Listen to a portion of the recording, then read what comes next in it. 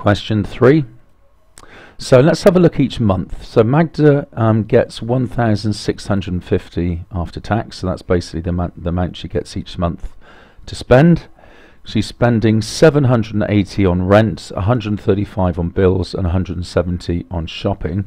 So if we take all three of those away from the 1650, that's what she's left with after all those bills. So that's 565 pounds.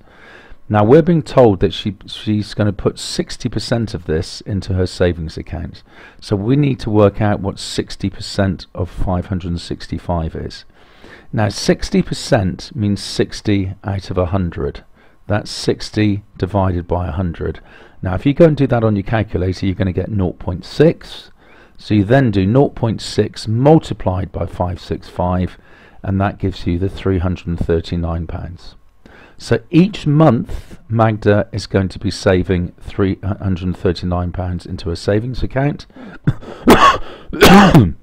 Excuse me. So over a year which is 12 months, she's going to save 12 lots of that.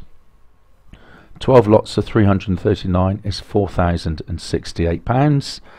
So she was thinking that she'd be able to save more than 4,000 pounds and indeed she has. She is correct. After one year she will have put more than 4,000 pounds into a savings account because she's put in 4,068.